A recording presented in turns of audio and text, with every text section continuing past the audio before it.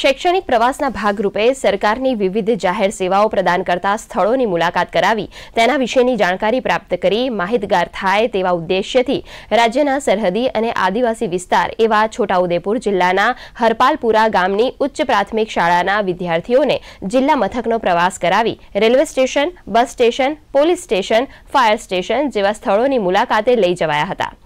railway સ્ટેશનની મુલાકાતે આવેલા શાળાના વિદ્યાર્થીઓને સ્ટેશન માસ્ટર અને રેલવે વિભાગના કર્મીઓ દ્વારા રેલવે અને રેલવેના વિવિધ વિભાગોની કાર્યપદ્ધતિથી માહિતગાર કરાયા હતા પોલીસ સ્ટેશન વગેરે જેવા સ્થળો ઉપર મુલાકાત માટે અમે બાળકોને લઈ આવ્યા હતા તો આ જાહેર સેવાઓ ઉપર જગ્યાના સ્થળો ઉપર કેવા પ્રકારની વ્યવસ્થા હોય છે એ પ્રકારની માહિતી માટે રેલવે સ્ટેશનના હાજર સ્ટાફ દ્વારા ઉંડાણપૂર્વકની ટ્રેનની અવરજવર કેવા પ્રકારની થતી હોય અને તેનું કમાન્ડિંગ કંટ્રોલ કે રીતે થતો હોય એની માહિતી હાલના અહીંયા સ્ટાફ દ્વારા અમને આપવામાં આવી હતી રેલવે સ્ટેશન છોટા ઉદેપુરની મુલાકાત લેવા આયા હતા જાતેમને કયા કયા પ્રકારના ડિપાર્ટમેન્ટ હોય છે